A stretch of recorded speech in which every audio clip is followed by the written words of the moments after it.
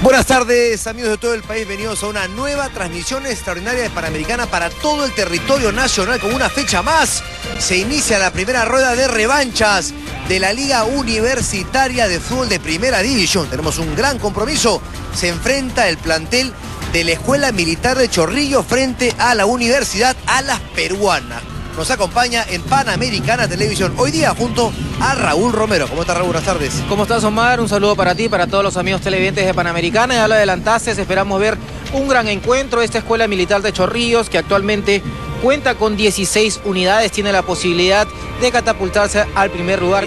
Hoy un partido clave para la Escuela Militar se repuso del trapié frente a Vallejo, a mitad de semana goleó en su partido correspondiente y ahora con la chance. Si gana hoy es nuevo puntero, con las peruanas que recordemos es el actual campeón nacional de esta liga y veremos hoy Carlos Lastra que nos va a brindar formaciones tanto de la hencha así como de alas peruanas. Pitazo, entonces tenemos fútbol aquí en San Miguel en el colegio Bartolomé Herrera, ya juegan frente a frente la Escuela Militar de Chorrillos, equipo Albo con algunas franjas negras y hoy con la alterna, las peranas con la negra. El equipo de Juan Carlos va a salar. Carlos, muy buenas tardes. ¿Cómo va a alinear, cómo alinea la Escuela Militar de Chorrillos, Carlos? ¿Cómo te va, Gabriela? Los amigos de Panamericana, las buenas tardes. Sí, vamos rápidamente con la Escuela Militar de Chorrillos, que va en el arco con Eric Viera con el número uno. Una extrema defensa con Percy Canales con el número 20. Aliocha Ferreira con el 3, Luis Ceballos con el 12 y Johan Ramos con el 4.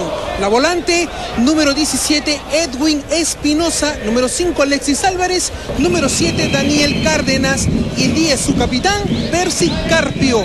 La ofensiva, número 13, Jorge Barrientos, el 9 es Anderson Zabarburu director técnico, el profesor Alan Inchaustegui. A las peruanas, Carlos Lasta tiene a el hijo de Pechito Farfán, ¿no? Farfán que es el capitán. Así es, es el capitán. Te voy a dar la alineación rápidamente. Le mete el cambio. Libre Canales. Ya pasó también Cárdenas. Prefiere aguantarla en el medio, tenerla con Alioya Ferreira. Cárdenas. El toque corto con Espinosa.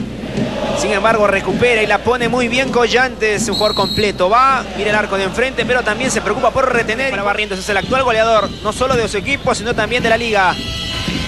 Va Carpio. Hacia atrás, Ramos. Vamos a ver Ramos. Levanta la pelota. Sabárbulu primero tarde. Anticipa Alvarado. Quiere pelearla en el medio. Espinosa la quiere levantar. Busca Cárdenas. Otra vez le queda Espinosa para que se busque un resquicio. Quiere meterse Blanco primero en la cobertura. Cuando había eludido a dos. Llegaba bien con posibilidades. un compañero de profesión, Carlos Lastra. Así es, le cuento un dato internacional. River cayó 2 a 1 frente a Lanús. Juega la promoción. Dios mío, en su cancha, es monumental. Correcto, estadio lleno, ¿ah? La presión que tiene River. Gracias, Carlos. Vamos a ver. Descienden dos y dos van a la promoción. Va a insistir Barrientos para el gol. Para que le mete el zurdazo. Le pega. ¡Golazo! Golazo, golazo, golazo. ¡Gol! de Chorrillos en el fondo. La perdieron en salida. Le quedó linda para la zurda, para el goleador, para Barrientos. Todo lo ve arco, todo lo ve gol. El octavo del campeonato para este número 13. Anota Barrientos 1 para la escuela militar. 0 para las peruanas. Así es, error en salida de la, Universidad de las Peruanas automáticamente el zurdazo. ¿Para qué te complicas la vida si tienes buena pegada de zurda? Barrientos como se tiene que jugar, zurdazo el 1-0 de la universidad, Llegamos a los 31 minutos ya y medio del primer tiempo. Un partido parejo. Es un poquito más en el comienzo las peruanas. Pero la única que tuvo clara la mandó adentro este goleador Barrientos, el número 13. Ya lo emparejó, creo, Gabriel, la Escuela Militar de Chorrillos. Ha tomado ya un poco más la mano del partido. Creo que el gol le ha dado esta posibilidad y la Universidad de las Peruanas me parece que se está equivocando. Porque...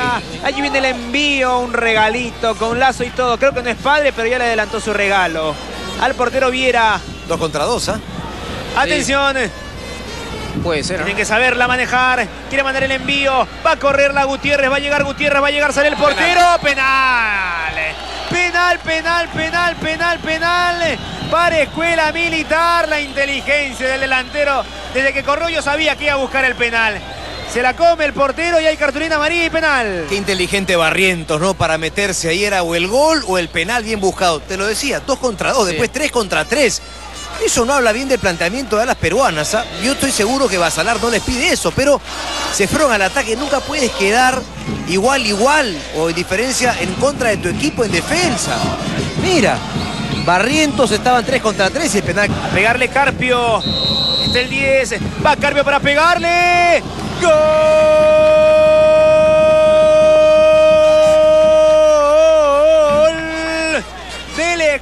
Militar de Chorrillos para la familia, para el padre que esté en la tribuna, el número 10. Percy Carpio rasante abajo. Penal bien pateado. Tiene un 99.9% de ser gol. Carpio marca a 10 del final, 12, Escuela Militar, 0 para las peruanas. Bien definido, Está ¿no? sentido dentro del terreno de juego, va a entrar la camilla. Qué humilde, ¿no? Ni siquiera, o sea, cam- lo hablamos bien de él y cambió de tema. Bien, se habla bien de Carlos. Le dejó el brazo. Fuera de distancia, no te sirve. Ríos para pegar, esta sí es la última, viene golpe de cabeza, en la línea la sacó, no pasa el peligro, quiere sacarla, quiere alejarte del peligro, ahora sí, pita Giovanni Quevedo, final, primer tiempo, goles de Barrientos y de Carpio, el segundo de penal, 12, Escuela Militar, que viene a ser el nuevo líder, 0 para las peruanas. Gracias. Hoy en Alas Peronas se han dado los cambios de Yair Garretón con el número 11, ha reemplazado al número 4 Víctor Blanco y la segunda variante fue Luciano Osorio, ha ingresado con la casaquilla número 14, se retiró con el número 9 Daniel Díaz. Muy bien. Sin variantes en la Escuela Militar de Chorrillos. Perfecto, completo. Amigos de Panamericana Televisión, se ha iniciado la etapa final. Sí, lo metería Dani Gutiérrez al número 11, al atacante. Acá se dupla con Barrientos. Tiene buen manejo Sabárbulo, pero si no tiene gol, jugar con la 9 en la espalda es complicado. Tenemos paciencia. Viste Espinosa, ¿no, Gabriel? Paró la pelota, se acomodó y nadie le saltó a la marca. Tiene que haber una marca agresiva por parte de alas peruanas que está perdiendo. Tienes que recuperar la pelota, tener tenencia para hacer los goles. Falta claridad al equipo aviador, va Carpio. Salta y salta, alienta, alienta la barra del cuadro militar. Caía, hay falta y tiro libre. Y la barra de alas peruanas ya se sentaron, ya ¿no? el, el bombo también ya. Tanto resignados, Un ¿no? poco resignada la barra de las peruanas. El pelotazo largo va buscando la aparición. Atención, viene el descuento de la peruana. Llega el gol. Gol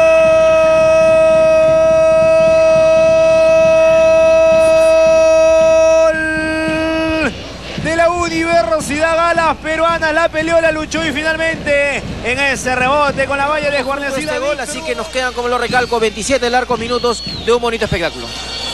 Omar, Sí, Carlos. te escucho, bueno, después del, del gol de descuento de Alas Peronas, rápidamente Alan Inchausti que prepara su segunda variante, el número 14, Julio Cuidado. Un momentito que se va yendo Cuba. Cuba tiene para sacar la atención. Tiene que aguantarla. Sigue el número 10. Va Ceballos a la marca. Cuba. Cuba. dónde. Cuba. Vete el centro. Este es el empate. Atención. Pégale. Pégale Río. Carretón. Dispara. ¡Gol!